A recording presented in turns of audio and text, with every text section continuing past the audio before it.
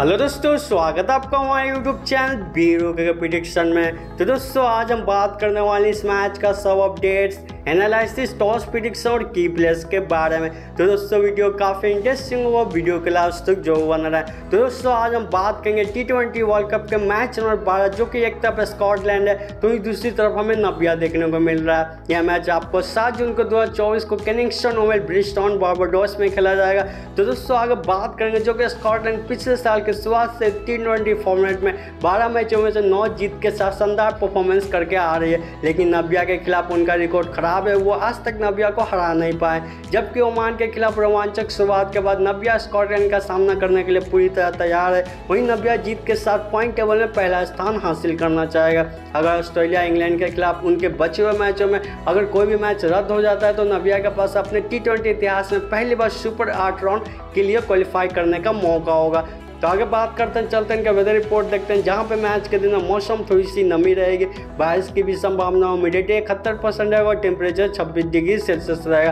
अब बात करते हैं कि पिच एनालिसिस करते हैं। जहाँ पे कनिंगस्टन ओवल की पिच मुख्य रूप से कठोर, सूखी मिट्टी से बनी, जो आमतौर पर अच्छी गति और छाल प्रदान करती है। यह कैरेबियन में सबसे तेज पिचों में से एक रूप में माना जाता है, जो फास्ट बॉलर के लिए अनुकूल है। खासकर मैच शुरुआती स्टेज में जैसे जैसे मैच आगे बढ़ता है पिच घिसती जाती है। जिससे स्पिनरों को खेलने में मौका मिलता है। अब बात करते हैं दो टीमों का हिट वेट देखते हैं, जहाँ पे स्कॉटलैंड ज़ीरो मैच जीत के आ रही है, वहीं पे नबिया तीन मैच जीत के आ रही है। वहीं अगर बात करें इनके विनिंग परसेंटेज देखें तो बैटिंग फ़र्स्ट का यहाँ पे इकसठ जीतने का चांस है, वहीं बॉलिंग फ़र्स्ट का यहाँ पे छत्तीस जीतने का चांस है। अब बात करते हैं इनका स्कोर देखते हैं, जहाँ फ़र्स्ट इनिंग का स्कोर एक सौ इक्यावन है तो वहीं पर सेकंड इनिंग का स्कोर एक सौ बत्तीस है। तो दोस्तों, इसी के साथ आगे बढ़ते हैं, यानी पहली टीम नबिया का शॉर्ट एनालिसिस करते हैं, जहाँ पे नबिया अपनी पहली जीत दर्ज करने के लिए बात कॉन्फिडेंस से भरपूर होगा। Michael van Lingen Nicolaas Davin के साथ ओपनिंग करेंगे। डेविन पिछले साल के शुरुआत से स्कॉटलैंड के लिए टी ट्वेंटी आई में सबसे ज़्यादा रन बनाने वाले खिलाड़ी हैं। जहाँ पर सलामी बल्लेबाज ने पंद्रह मैचों में एक सौ बत्तीस पॉइंट ग्यारह की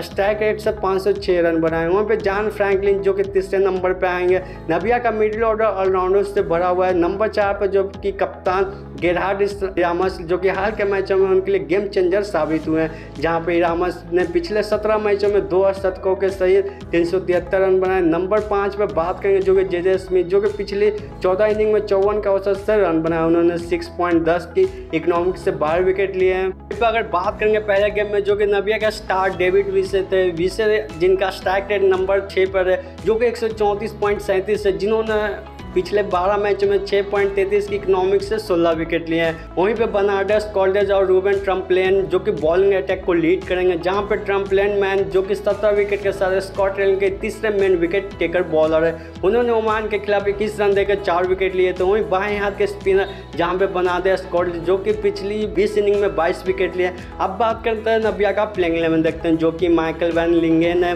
निकोलस डेविन है, जॉन फ्रैंकलिन है गिरहाडी रामत जो कप्तान है, मालन कुरूगर है जे जे स्मिथ है, डेविड विसे जेन ग्रीन है, रूबेन ट्रम्पलेन मैन है, बनाडेस कोल्ज है टैंगलिनी, लुंगानी, कुछ की प्लेयर की बात करें जो कि मालन क्रूगर है जे जे स्मिथ है, डेविड विस है।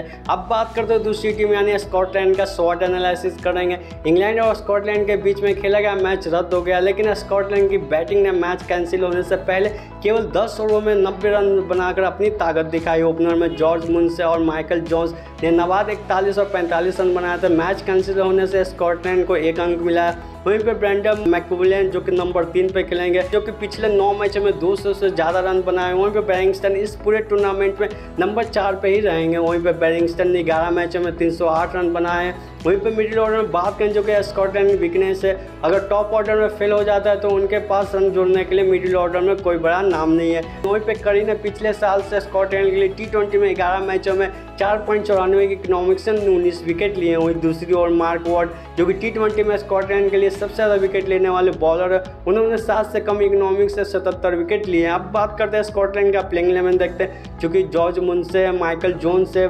ब्रैडन मैकपुल मुलन है रिची बेरिंगटन है मैथ्यू क्रॉस है माइकल लिस्क है क्रिस ग्रिक्स है मार्क वॉट है क्रिस्टोफर सोल है ब्रैड विल है ब्रैडली करी हो, या अगर कुछ की प्लेयर की बात करें जो कि जॉर्ज मुंसी है रिची बैरिंगटन है ब्रेड पूरी है तो फाइनली दोस्तों हमने हर एक चीज़ पे डिस्कशन कर ली। तो आगे बढ़ते हैं, चलते विनर के। तो हमारे अकॉर्डिंग यहाँ पे मैच विनर स्कॉटलैंड होगा। यहाँ पे नबिया को हार मिल सकते हैं। तो ऐसे इंटरेस्टिंग वीडियो के लिए हमारे चैनल के साथ बने हमारे चैनल को लाइक एंड सब्सक्राइब ज़रूर करें। और कमेंट में बताएँ कि हमारा वीडियो कैसा लगा। ओके दोस्तों, मिलते हैं नेक्स्ट अपडेट के साथ।